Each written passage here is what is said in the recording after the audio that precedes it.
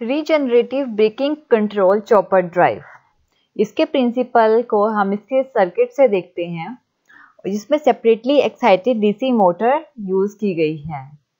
इसमें separately excited DC motor use की जाती है। ये हमारा आर्मेचर होता है, जो कि आर्मेचर रजिस्टर और इंडक्टर से कनेक्टेड होता है। जो हमारा चॉपर है, वो आर्मेचर के पैरेलल में कनेक्टेड होता है। और डायोड का जो जो डायोड है, उसकी डायरेक्शन जो एन जंक्शन होता है, वो सोर्स की तरफ़ होता है पी जंक्शन जो होता है, वो आर्मेचर की तरफ़ होता है। आउटपुट पे जो वोल्टेज होती है, वो टर्मिनल वोल्टेज के इक्वल होती है। यहाँ पे टर्मिनल वोल्टेज आती है, जो कि आउटपुट वोल्टेज के इक्वल होती है। इनपुट से हम सोर्स वोल्टेज सप्लाई प्रोवाइड करते हैं। और एक फ़ील्ड सर्किट जो कि सेपरेटली लगाया जाता है, ये फ़ील्ड सर्किट है, क्योंकि सेपरेटली एक्साइटेड डीसी मोटर के लिए है। तो फ़ील्ड सर्किट में सेपरेटली प्रोवाइड किया गया है। अब हम इसकी वर्किंग देखते हैं। जब भी, यहाँ से जो हमारा फ़ील्ड वोल्टेज है, यहाँ से फ़ील्ड करंट प्रोवाइड होगा। ये हमारे फ़ील्ड रजिस्टर है, जिसमें से फ़ील्ड फ़ील्ड करंट प्रोड्यूस होगा। इनपुट से हम सोर्स वोल्टेज प्रोवाइड करते हैं। लेकिन यहाँ पे डायोड है। अगर हमने यहाँ से सोर्स वोल्टेज प्रोवाइड की तो डायोड क्या करेगा? कंडक्ट नहीं करेगा क्योंकि रिवर्स बायस में है। जब भी हमारा चॉपर ऑन कंडीशन में होता है, उस टाइम में जो हमारा करंट है, वो जो डायरेक्शन है, वो हम इसमें अभी डिस्कस करते हैं। सबसे पहले हम इसका एग्ज़ाम्पल देखते हैं। जैसे हम एक एग्ज़ाम्पल लेते हैं, एक हमारी ट्रेन है, जो कि हिल से अप टू डाउन आ रही है। जब वो डाउन आएगी उस टाइम पे, जो मोटर काउंटर है ईएमएफ e है आर्मेचर का, वो ज़्यादा होगा सोर्स वोल्टेज के कंपैरिजन में। जब हम अप टू डाउन जाते हैं तो हमें फोर्स कम हमें फोर्स कम लगाना पड़ता है। जो आर्मेचर का ईएमएफ e होता है, वो सोर्स वोल्टेज से ज़्यादा होता है। जब हमारा चॉपर ऑन कंडीशन में है तो उस टाइम पे जो हमारा करंट है, वो आर्मेचर से फ्लो करेगा। और आर्मेचर रेजिस्टर और इंडक्टर से पास होगा। और उस टाइम पे ये करंट यहाँ पे जो करंट फ्लो होगा, वो होगा आर्मेचर करंट ये डायोड के क्रॉस नहीं जाएगा, ये सारा करंट जाएगा चॉपर पे। क्योंकि जब हम कंडीशन कर रहे हैं, जब चॉपर ऑन कंडीशन में है। और इस टाइम पे चॉपर क्या होगा? कंडक्टिंग कंडीशन में आएगा। जो टर्मिनल यहाँ पे जो करंट फ्लो होगा, वो होगा टर्मिनल करंट और यहाँ पे जो टर्मिनल वोल्टेज होगी, वो ज़ीरो के इक्वल होगी जब चॉपर ऑन कंडीशन में होगा। ऐसा इसलिए होगा क्योंकि सोर्स से कोई वोल्टेज नहीं जा रही है। यहाँ से आर्मेचर से ये जो करंट है, वो चॉपर की तरफ़ फ्लो हो रहा है। जो टर्मिनल वोल्टेज होगी, वो ज़ीरो होगा और सारा करंट चॉपर से फ्लो होगा। जब चॉपर ऑन कंडीशन में होता है टर्मिनल करंट फ्लो होता है, लेकिन टर्मिनल वोल्टेज ज़ीरो हो जाती है। और ये जो इंडक्टर है, इस टाइम पे एनर्जी को स्टोर करेगा।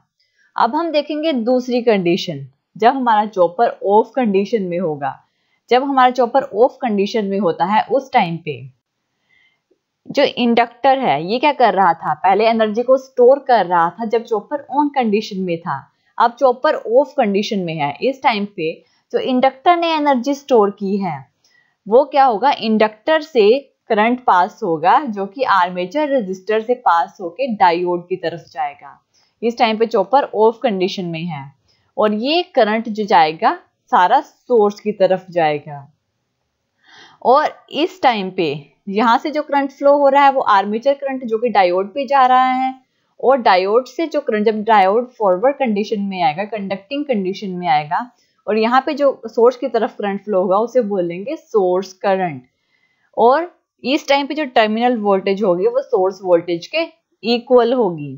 टर्मिनल वोल्ट जब चॉपर ऑन कंडीशन में होता है टर्मिनल वोल्टेज ज़ीरो होती है, और जब चॉपर ऑफ़ कंडीशन में होता है तो टर्मिनल वोल्टेज सोर्स वोल्टेज के इक्वल होती है। ये चीज़ ज़रूर ध्यान रखना कि ये जो करंट है, देखो करंट की डायरेक्शन सोर्स से लोड की तरफ़ नहीं है लोड से सोर्स की तरफ़ है। तो करंट क्या है इस टाइम पे? ज़ीरो लेकिन वोल्टेज पॉजिटिव ही है इस टाइम पे भी। इसलिए इसका जो हैच्ड एरिया होता है सेकंड क्वाड्रेंट होता है।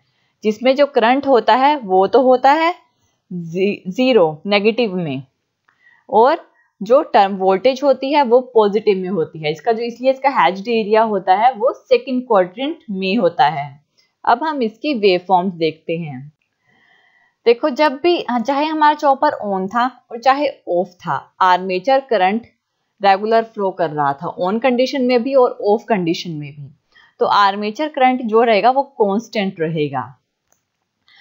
और जो टर्मिनल वोल्टेज थी, अब हम बात कर रहे हैं टर्मिनल वोल्टेज की।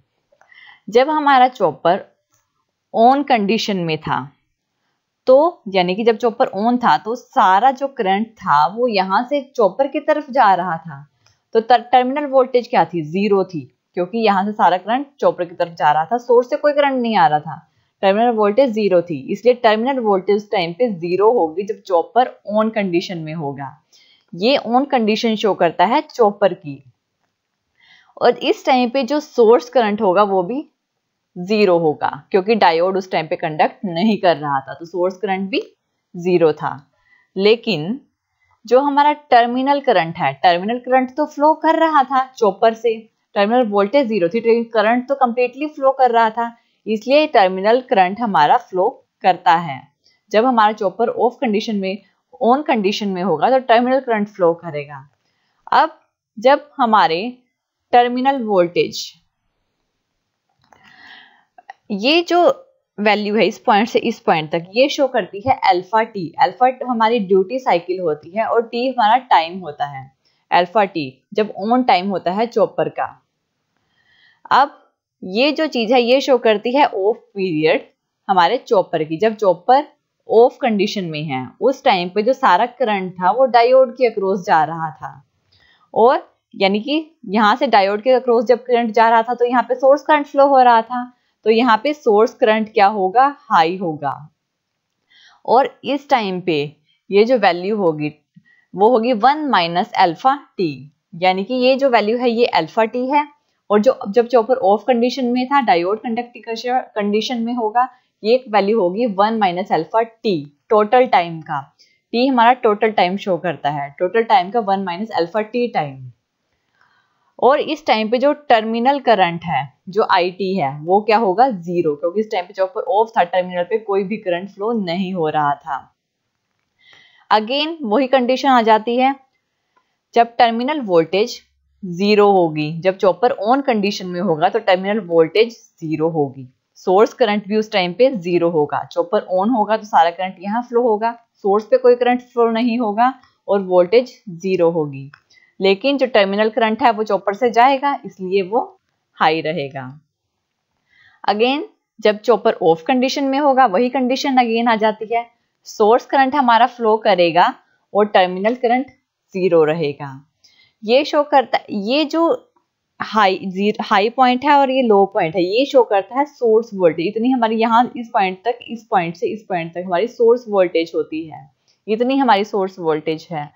और इसमें जब ऑन टाइम प्लस चॉपर का ऑफ़ टाइम टोटल टाइम होता इसको बोलता है टोटल टाइम जब चॉपर ऑन में था ऑन जब चॉपर ऑन था ऑन टाइम था तो उसको अल्फ़ा टी से डिनोट किया था, जो उसकी ड्यूटी साइकिल है, वो अल्फ़ा टी है टोटल टाइम के अल्फ़ा और जब चॉपर ऑफ़ कंडीशन में है, उसे बोला गया one minus alpha T chopper जब ऑफ़ कंडीशन में है. अब हम देखते हैं इसकी जो इसकी जो इक्वेशन है जो हमारी एवरेज वोल्टेज होती है चॉपर के अक्रॉस वो होती है terminal voltage is equal to T off T off upon T यानी चॉपर का off time upon total time into V S source voltage जो off time upon total time है, उसको हम वन माइनस अल्फ़ा से डिनोट करते हैं, जो कि चॉपर का ऑफ़ टाइम होता है. वन इसको हम ऐसे लिख सकते हैं one minus alpha V S यहाँ पे वन माइनस अल्फ़ा पुट कर दिया. अब जो हमारे पावर जनरेट होती है मोटर मोटर से जो पावर जनरेट होती है, वो इज़ इक्वल टू होती है V T into I A terminal voltage into armature current यहाँ पे टर्मिनल वोल्टेज क्या है? One minus alpha V S तो हमने यहाँ पे वैल्यू पुट कर दी। One minus alpha V S into I A R A यानी कि आर्मेचर करंट जो कि आर्मेचर रजिस्टर में से फ्लो हो रहा है, इसलिए आई ए के साथ आर ए पुट किया है।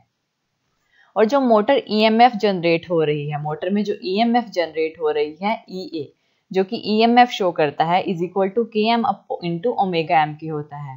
के एम शो करता है, और जो टॉर्क कांस्टेंट होता है ओमेगा एम शो करता है मोटर की स्पीड को।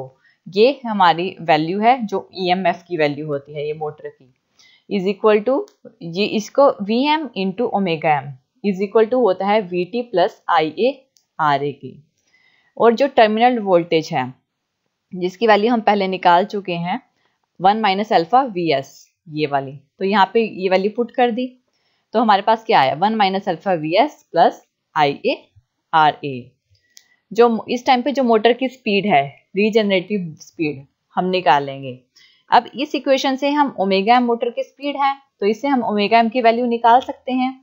Omega M is equal to one minus alpha V S plus I A R A upon K M ये है हमारी मोटर की स्पीड जो हमने इस इक्वेशन से निकाली है। अब जैसे कि हम जानते हैं, मोटर की दो दो कंडीशंस होती हैं। एक कंडीशन जब चॉपर ऑन होता है, एक कंडीशन जब चॉपर ऑफ़ होता है। दोनों कंडीशन को हम एक साथ लेकर चलते हैं। जब चॉपर ऑन कंडीशन में होता है तो सोर्स वोल्टेज ज़ीरो होती है। क्योंकि सोर्स से कोई वोल्टेज पड़ा नहीं, कोई करंट फ्लो नहीं होता। क्योंकि आर्मेचर से करंट जाता है। तो ये होगा E A minus I A R A minus L A D I A upon D T is equal to zero source voltage zero होगी। लेकिन जब चॉपर ऑफ़ कंडीशन में होगा तो ई e, जो हमारी इक्वेशन होगी वो होगी E A minus I A R A minus L A D I A upon D T is equal to V S same है ये ज़ीरो है। लेकिन जब ऑफ़ होगा तो सोर्स वोल्टेज होगी जो वी एस के इक्वल होगी। इस इक्वेशन को हम हमने लिख दिया है। ऐसे इसको उधर ले गए इधर इज़ इक्वल टू इधर ले आए तो हमारे पास आए E A minus I A R A is equal to L A D I A upon D T और इस इक्वेशन को अगर हम इधर ले गए तो हमारे पास आया है वी एस को इधर ले आए तो V S minus E A minus I A R A is equal to minus L A D I A upon D T अब जब चॉपर ऑन कंडीशन में होता है तो इंडक्टर क्या कर रहा था? एनर्जी को स्टोर कर रहा था। तो करंट क्या हो करंट राइज होता है, जो कि पॉजिटिव में होता है। और जब चॉपर ऑफ़ कंडीशन में था तो हमारी जो आर्मेचर ईएमएफ था ई ए minus I A R A वो ज़्यादा थी सोर्स वोल्टेज से। ये क्या कर रही थी? जो स्टोरेज एनर्जी थी, वो नेगेटिव में चली गई। नेगेटिव में हो जाती है, जो इंडक्टर की स्टोरेज एनर्जी होती है। तो इसके, इसको हम कैसे डिनोट करेंगे? V S minus E A minus I A R A इसमें ज़ीरो ज़ीरो की वैल्यू ज़्यादा है। लेकिन अगर हम इसको ऐसे लिख दें ई ए minus I A R A इसमें जो माइनस वी एस है, वो ग्रेटर देन है minus E A minus I A R A के। अब इस इक्वेशन को हम ऐसे लिख सकते हैं। E A minus I A R A upon V S minus से माइनस कैंसिल कर दिया। तो ये क्या हुआ? यानी कि जो हमारी सोर्स वोल्टेज है, वो कम है ई ए minus I A R A से। अब इस टाइम पे अगर हम इन, इस इक्वेशन को और इसकी इक्वेशन को कंबाइन करें कंट्रोलिंग पावर में तो जो हमारी कंट्रोलिंग पावर होती है मोटर की, इस इक्वेशन को, इस इक्वेशन को अगर कंबाइन करें तो हमारी कंट्रोलिंग पावर क्या होनी चाहिए? सोर्स वोल्टेज जो होती है, उससे कम होनी चाहिए और ज़ीरो से ज़्यादा होनी चाहिए। ये होगी हमारी कंट्रोलिंग पावर मोटर की, क्योंकि सोर्स वोल्टेज से कम हो और ज़ीरो से ज़्यादा हो, अगर हम इन दोनों इक्वेशंस को मिला दें। तो ये क्या कहता है कि जो रीजनरेटिव ब्रेकिंग कंट्रोल है, हमारे डीसी सेपरेटली एक्साइटेड मोटर का मिनिमम ब्रेकिंग स्पीड जो होगी, जो मिनिमम ब्रेकिंग स्पीड होती है मोटर की, वो E A minus I A R is equal to zero minimum speed है zero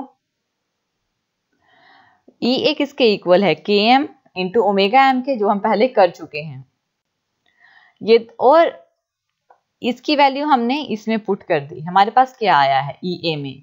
K M into omega M is equal to इसको ब्रैकेट इज़ इक्वल टू उधर ले गए तो आई ए आर ए तो यहाँ पे स्पीड क्या आई? Omega minimum speed M N minimum speed को शो कर रहा है, जो omega M N is equal to I A into R A upon K M ये मिनिमम स्पीड हुई मोटर की।